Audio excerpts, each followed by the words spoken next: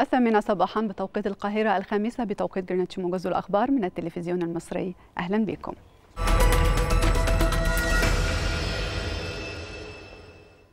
يبدأ الرئيس عبد الفتاح السيسي نشاطه اليوم في باريس بالمشاركة في الجلسة الافتتاحية للقمة الدولية ميثاق التمويل العالمي الجديد حيث سيعرض الرئيس رؤية مصر فيما يتعلق بتطوير سياسات وممارسات بنوك التنمية متعددة الأطراف.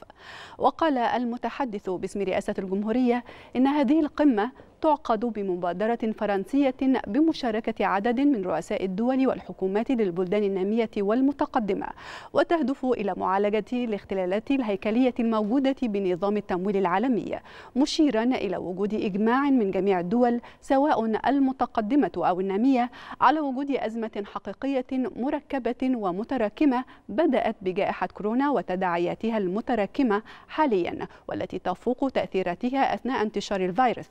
ثم الأزمة الروسية الأوكرانية التي أدت إلى قصور شديد في سلاسل الإمداد وسوق الغذاء العالمية.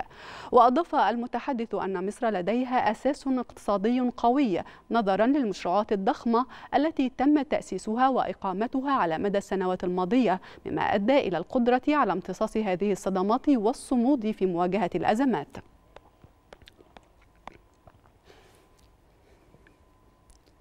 أكد الرئيس عبد الفتاح السيسي اهتمام مصر بأن يمثل التعاون مع شركة الخطوط الملاحية الفرنسية العالمية قيمة مضافة وطفرة نوعية في تطوير ميناء الأسكندرية الكبير بما يعزز من نشاط الميناء على المستويين الإقليمي والعالمي. جاء ذلك خلال استقبال الرئيس السيسي بباريس رئيس شركة الخطوط الملاحية الفرنسية العالمية رودولف سعادة والذي أشاد بدوره بمناخ الأعمال في مصر الذي يشهد تطورا إيجابيا متسارعا. مؤكدا تطلع الشركة لتوسيع التعاون مع الجانب المصري في إدارة موانئ إضافية وذلك في ضوء الحجم الضخم للمشروعات التنموية الجاري تنفيذها في مصر والتي تمثل فرصة كبيرة وسوقا واعدا لاستقبال كبرى الشركات الأجنبية للاستثمار في مختلف المجالات.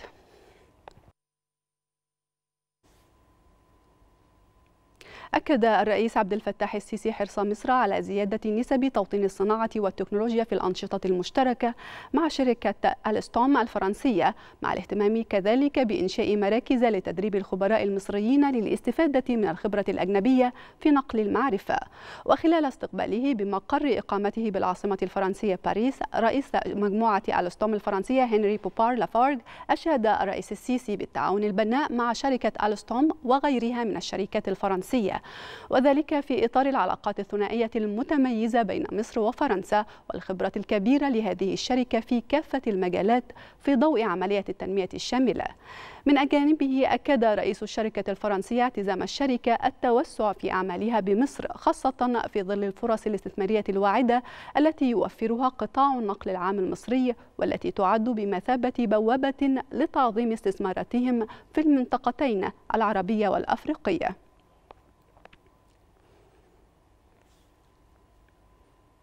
أعلن الجيش السوداني أن قواته واصلت عملياتها بالخرطوم ضد الدعم السريع بعد انتهاء وقف إطلاق النار. وفي بيان له قال الجيش السوداني أن قواته تواصل عملياتها في منطقة العاصمة الخرطوم بعد انتهاء الهدنة التي استغلها الدعم السريع في حشد قواته وارتكاب عدة انتهاكات بحق المدنيين. موضحا أنه تم إحباط هجوم على القوات السودانية في أم درمان ورئاسة الاحتياطي المركزي بالخرطوم كما تم إسقاط طائرة مسيرة وتدمير عدد من المركبات القتالية.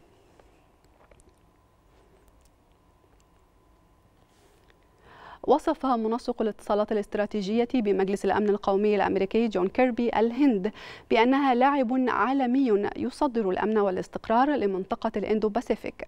وبمناسبة زيارة رئيس الوزراء الهندي ناريندا مودي الحالية للولايات المتحدة قال كيربي إن واشنطن تتطلع لتعميق العلاقات مع الهند لأن الهنود يصدرون بالفعل الأمن لمنطقة الإندو باسيفيك وما وراء حدود هذه المنطقة كما أنهم يساهمون في الحوار الرباعي مع الولايات المتحدة واليابان وأستراليا بشأن أمن المنطقة.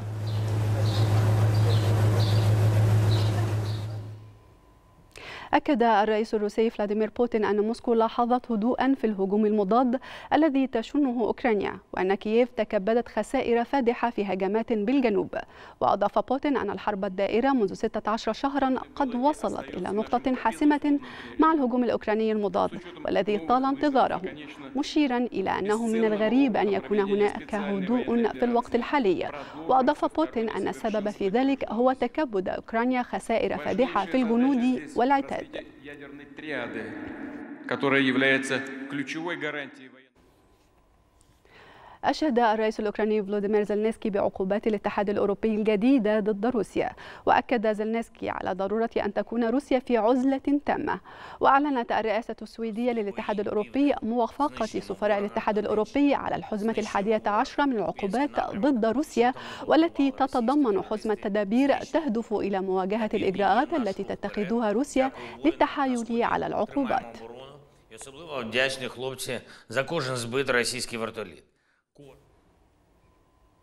رياضيا يلتقي النادي الأهلي نظيره حرس الحدود في التاسعة والنصف مساء اليوم على ملعب الكلية الحربية في المباراة المؤجلة بينهما من الجولة السادسة عشر لبطولة الدوري الممتاز. ويحتل الأهلي المركز الثاني مؤقتا برصيد 62 نقطة من 24 مباراة فقط ولديه سبع مباريات مؤجلة لظروف مشاركته في بطولة إفريقيا التي توج بها مؤخرا.